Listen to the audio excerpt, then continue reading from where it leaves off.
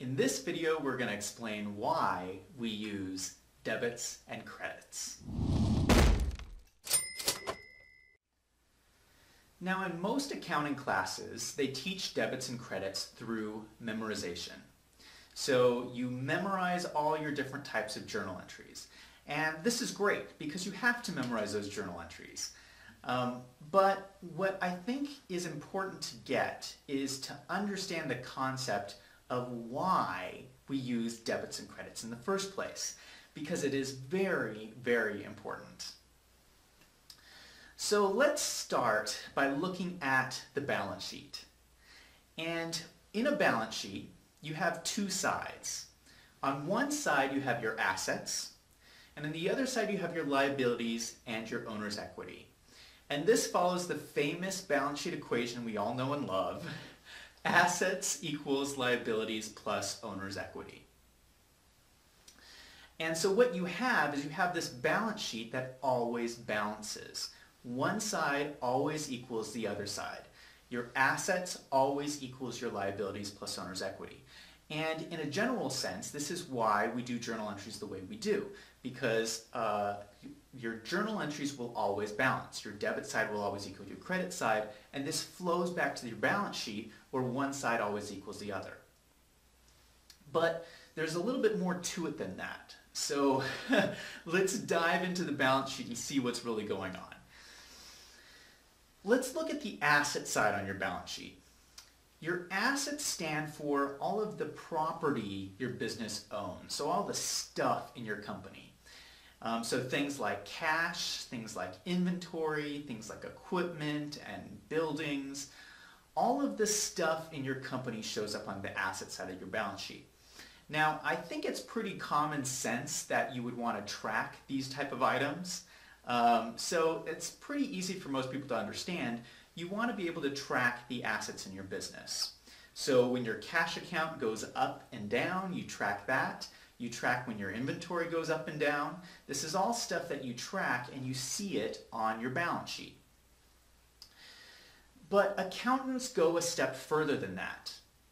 They not only track their assets, they track liabilities and owner's equity, which is the other side of the balance sheet.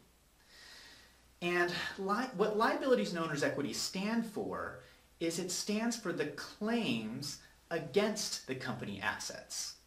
So on one side you have the assets, and on the other side you have the claims against those assets. And that's why we have the equation assets equals liabilities plus owner's equity. So let's take a little bit closer look at liabilities and owner's equity.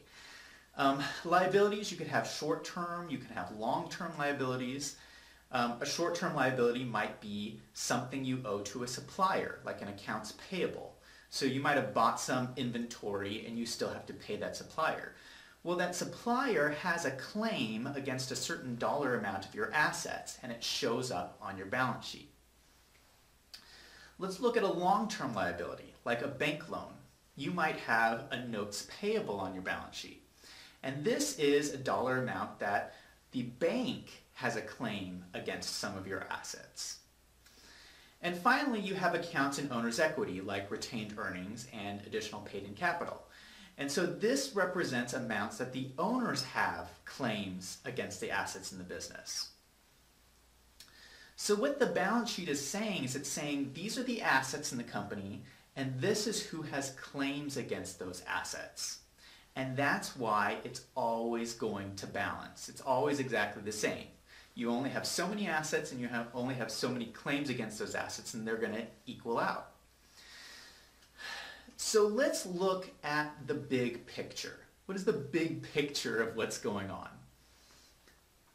When you first set up a company, you have a business entity, right? You have this business entity that's, that's empty, right? And you fill this business entity up with assets you have multiple parties that come along and put assets into the business. So you'll have suppliers, you'll have banks, you'll have investors, and all these people, they put assets into the business. But what you have to do is you have to have some way of tracking who has claims against those assets because you have multiple parties out here and they want to know um, how, how they're connected to the assets in the business. And that is the whole point of double entry bookkeeping. That is why we do journal entries with both debits and credits that always equal out because we're always tracking two things. We're tracking the assets in the business and then we're tracking who has claims against those assets. That is double entry bookkeeping. If we did single entry bookkeeping, what that would be would be is if we just track the assets. If we just track the assets in the business, forget who has claims to it, we would always be able to tell how much cash we have or how much uh, property we have, but we would have no way of knowing who has claims against those assets. And that makes it very difficult to operate a business. So what I'd like to do is I'd like to go through a couple of journal entries and kind of talk through how this uh, whole concept works. So let's start with an easy one. Let's talk, start with purchasing inventory. So in purchasing inventory, um, we're going to debit inventory and credit accounts payable. And so we see that this concept play out in this journal entry. Debiting inventory uh, increases the assets on the asset side of the balance sheet. Crediting accounts payable increases the accounts payable on the liability side of the balance sheet. So we're increasing an asset and we're increasing a liability, which is a claim against our assets. So it all plays out in how the debits and credits work in the journal entry. Now, this all gets more complicated, so hang on. Um, the famous equation we all know is not the complete equation. So we all know asset equals liability plus owner's equity. But what it really is, is assets equals liabilities plus owner's equity plus revenue minus expenses. Because what happens is when your business is operating, you're always either generating a profit or generating a loss. Because day to day, in day-to-day operations, you're making sales, you're purchasing things. So, uh, you know, every day of your operations, you're impacting not only your level of assets, but who has claims to your assets. And that flows through this equation into your trial balance, which eventually becomes your balance sheet. So it's really important to understand this full equation. Assets equals liabilities plus owner's equity plus revenue minus expenses. And that flows into your debits and credits and how you write your journal entries. So let's look at another journal entry. Let's look at um, if you were to pay a contractor with cash. So in this example, you would debit maintenance expense and you would credit cash. So debiting maintenance expense is increasing your expense, which affects the claims, the ownership claims against your assets, and you're going to credit cash, which will decrease your cash. Um, do you see how that works? Um, let's move on to another journal entry. And this journal entry is you're going to take out a bank loan. So when you take out a bank loan, you're going to get a large sum of cash and you're going to owe something to the bank. So you do the journal, journal entry, you're going to debit cash and you're going to credit notes payable.